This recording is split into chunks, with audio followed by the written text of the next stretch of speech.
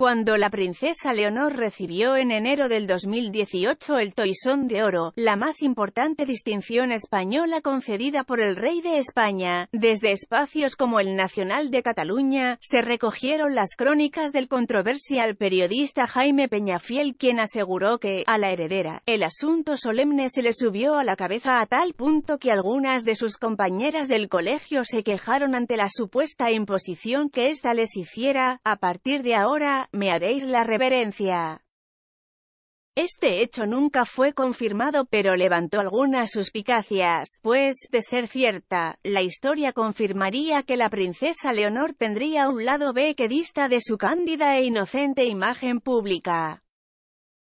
En la actualidad y con casi 16 años en su haber, la primogénita de los reyes se encuentra a punto de insertarse en una realidad distinta a la que conoce y este tipo de actitudes podrían traerle problemas, repetimos, si realmente forman parte de su personalidad. El prestigioso colegio Gales UWC Atlantic College, al que ingresará la princesa Leonor a partir de este próximo 30 de agosto para iniciar su calendario escolar, tiene rígidas políticas sobre este tipo de comportamiento que por supuesto no será tolerado. Por primera vez en su vida, la heredera confrontará una realidad en la que el trato será de igual a igual, y algunas actitudes que ella podría considerar normales son mal vistas entre los estudiantes y el cuerpo docente. En las políticas internas de esta institución, ostentar posición y dinero va totalmente en contra con los principios de igualdad que allí se imparten.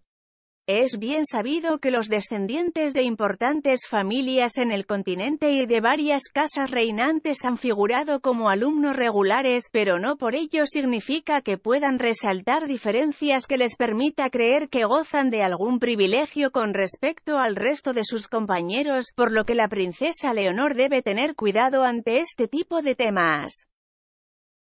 En este sentido, es perfectamente viable que la princesa Leonor comparta espacios comunes con compañeros de todas las procedencias pueden ser jóvenes adinerados, como también de bajos recursos e incluso refugiados. La idea es despertar su sensibilidad ante las distintas experiencias de vida que le pueden aportar mucho valor a su proceso de enseñanza.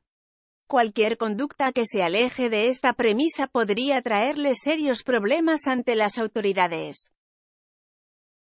Tal como señala la revista Lecturas, ni los tratos de favor, las preferencias o los apellidos adquieren especial relevancia en este centro. Así lo explicó la diseñadora y exalumna del Atlantic College, Marina Conde, quien concedió en exclusiva una entrevista para este medio a fin de explicar con qué podría encontrarse la princesa Leonor a su llegada. Está muy mal visto que presumas de dinero. Allí no hay contemplaciones por quién eres. Les da igual. Todos son iguales. Allí está muy mal visto que tú presumas de quién eres.